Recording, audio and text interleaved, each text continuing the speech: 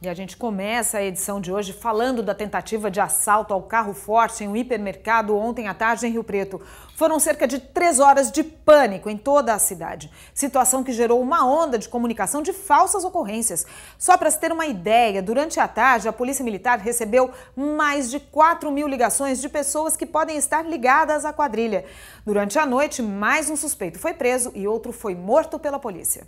O suspeito foi morto por volta das 11 horas da noite, nesta casa no bairro Sete Sul, região sul de Rio Preto. Assim que os policiais chegaram, houve troca de tiros. O rapaz foi o terceiro criminoso morto depois da tentativa de assalto ao carro forte que abastecia os caixas eletrônicos em um hipermercado da cidade. Um outro bandido foi preso também durante a noite no residencial Palestra. Nós acreditamos que aproximadamente oito pessoas estejam envolvidas nessa ação criminosa. Desses oito, é, cinco foram de alguma forma identificados, com um saldo de, de três pessoas que vieram a óbito e dois presos. Pela manhã, o hipermercado já estava aberto e funcionando normalmente. Essas imagens feitas por um celular mostram nas paredes as marcas de tiros. O movimento estava tranquilo dentro do mercado. Situação bem diferente de ontem. Clima tenso durante quase três horas.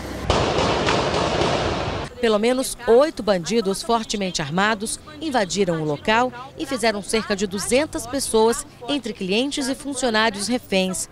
Durante a troca de tiros, dois bandidos morreram e dois policiais ficaram feridos. Dois veículos usados pelos criminosos foram apreendidos, além de várias armas e munição. Segundo a polícia, Todos os bandidos têm passagem por furto e roubo. Para despistar a polícia, por medo ou mesmo por uma brincadeira de mau gosto, só ontem o Copom de Rio Preto recebeu mais de 4 mil ligações. Gente que dizia ter ocorrências espalhadas pela cidade toda.